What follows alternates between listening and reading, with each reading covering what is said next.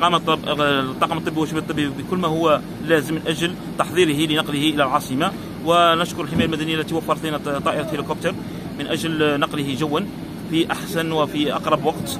فور يعني تلقينا صبيحة هذا اليوم لأجل تدخل طفل يعني له حروق من الدرجة الثانية على المستوى المتوسطة بالإدريسية.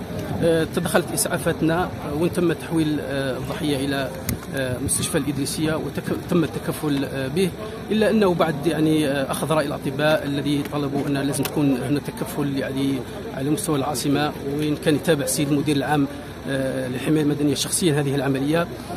وأرسل عمودية يعني طائرة عمودية كما كنتم تلاحظوا معنا لنقل هذا الطفل لأحد مستشفيات العاصمة المتخصصة لتلقي العلاج هناك.